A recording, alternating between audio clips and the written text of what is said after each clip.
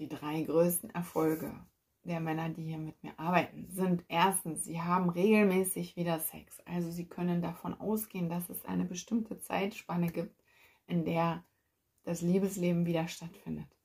Punkt Nummer zwei, sie können ihre steuern, sie können ihre Fähigkeit steuern und auch die Fähigkeit der Frau steuern. Das heißt, sie haben einen Einfluss darauf, wie lange es dauert und wie erregend und so weiter es ist. Und Punkt Nummer drei, die Frau will sich wieder hingeben und öffnet sich und ähm, sie erleben sozusagen neue Sphären der Sinnlichkeit und der Lust.